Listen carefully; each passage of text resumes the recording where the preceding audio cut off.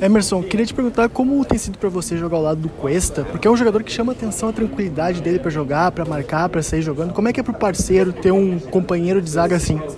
É um grande jogador, é, é, tento me espelhar muito nele ali na tranquilidade. Ele passa uma tranquilidade para mim ali. E eu acho que eu também tenho que, ter, tenho que fazer, tenho que ter minha personalidade, tenho que jogar. E eu acho que a gente está indo bem nessa, nessa, nessa, nesse quesito.